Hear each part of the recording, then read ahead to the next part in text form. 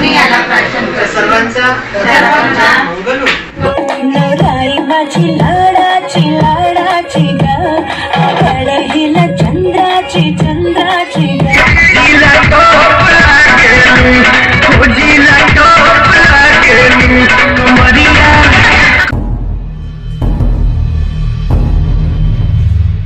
Good morning कैसे आप सब? उम्मीद है आप सभी लोग ठीक होंगे और स्वागत है आप सभी का मेरे यूट्यूब चैनल पर, जिसका नाम है मिशनरी बरार तो आप देख रहे हैं मेरे पास में बोधिसत्व दिनदर्शिका और आज की जो तारीख है वो है 10 जुलाई। और 10 जुलाई को हमारे इतिहास में क्या हुआ था, देखते हैं। 10 जुलाई को 1945-46 में डॉक्टर अंबेडकर मुंबई का म्युनिसिपल कामगार एसोसिएशन के अध्यक्ष बने थे। तो लेबर मिनिस्टर जब बाबा साहब बने तो उन, उनके समय की ये ड्यूरेशन की चीज़ें हैं। और बाबा साहब ने जितने भी हम कामगारों के लिए लेबर लोगों के लिए जितने भी हक और अधिकार दिए हैं, ये बाबा साहब के कारण पॉसिबल हो पाए हैं।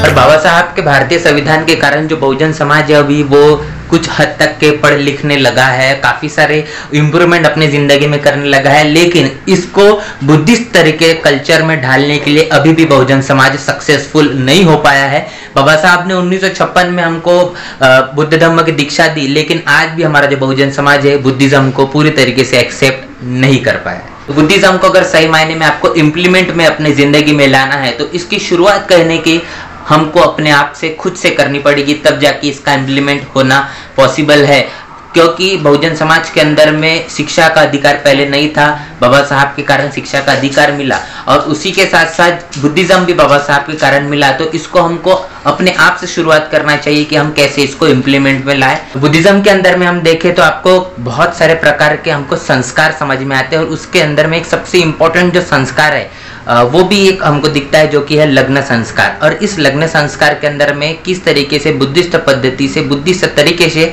शादी होनी चाहिए, ये आज के मैं ब्लॉग में आपको दिखाने वाला हूँ कि किस तरीके से क्या क्या चीज़ें उसमें रहनी चाहिए। तो ये थोड़ा सा नॉलेजेबल और इंजॉयमेंट के साथ में ये व्लॉग होने वाला है तो व्लॉग में आखिर तक के बने रहिएगा।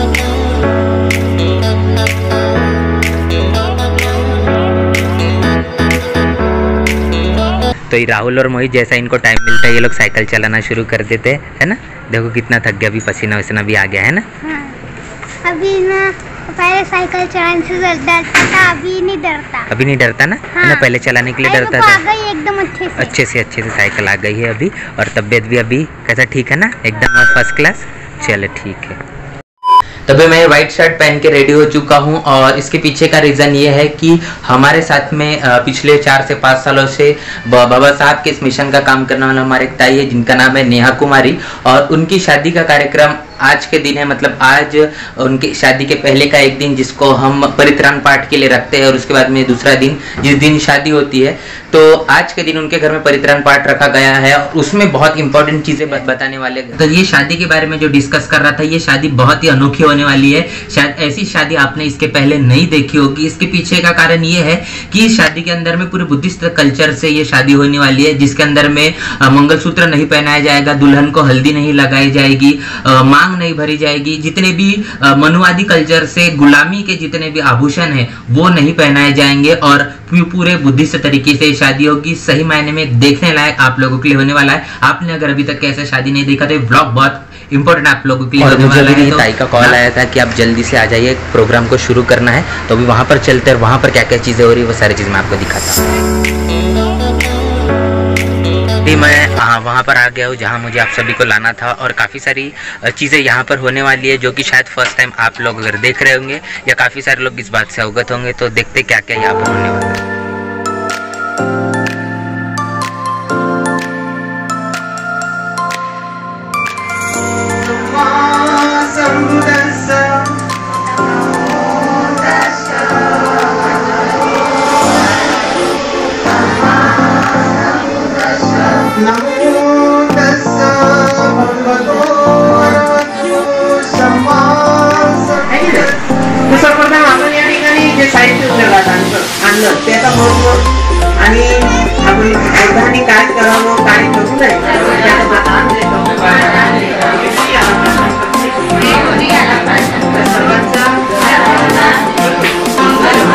अ, शादी में आए हैं जो अभी परित्राण हुआ आप सभी ने देखा और उस परित्रान में काफ़ी सारी चीज़ें हुई और मेरे साथ में है अभी जितेंद्र जो कि बुद्धिस्ट कल्चर किस तरीके से आगे बढ़ना चाहिए इस तरीके ये सभी चीज़ें वो फॉलो करते हैं गाँव गाँव के अंदर में बुद्ध का प्रचार करते हैं उनके धम्म का प्रचार करते हैं। तो आज का जो परित्रान हुआ वो स्पेशली किस तरीके से था? क्या क्या क्या चीज़ें हुई आज के परित्रान में?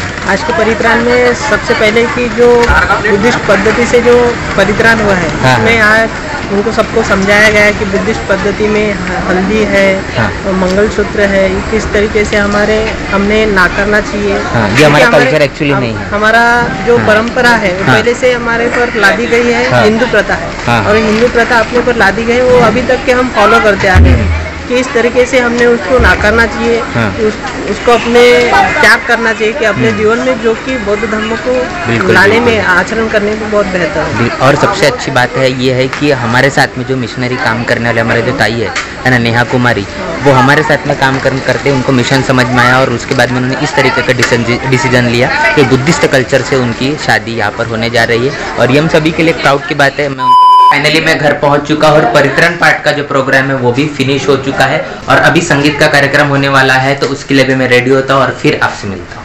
आपको कहीं जाना हो और जाने की जल्दी हो, और उसमें भी सेकंडों में आपको रेडी होना है तो उसके लिए मैं आपको सोल्यूशन बताने वाला हूँ। तो मेरे साथ में काउंट करिए। वन टू थ्री तो फाइनली अभी ये अपन ने पहन लिया है। अभी पार्टी वेयर के लिए थोड़ा सा और इसमें कुछ ऐड करते हैं।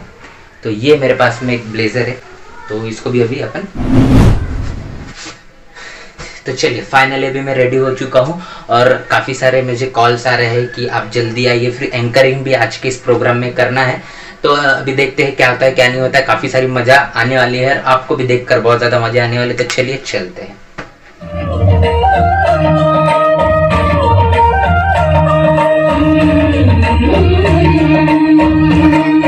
दिल से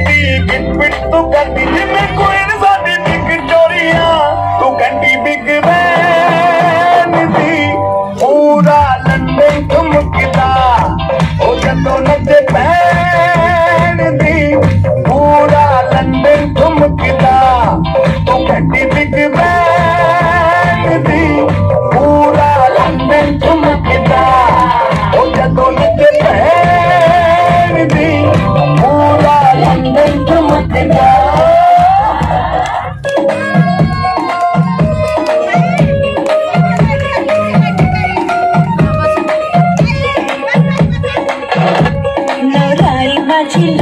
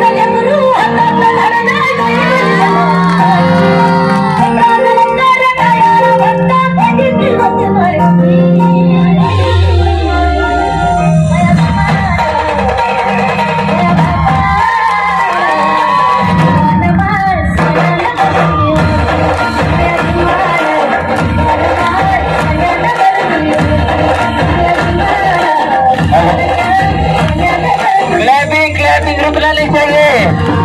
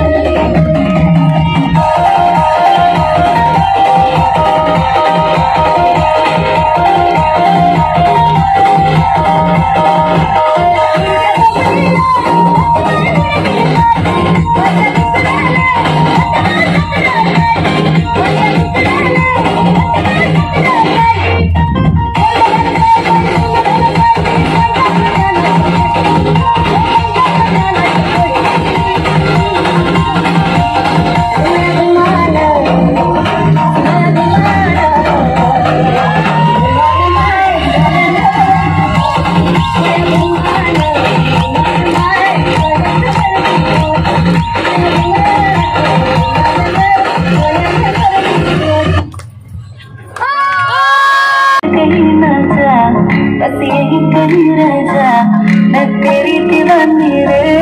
अफसोस तुझे है क्या? मुझसे दूर कहीं ना जा।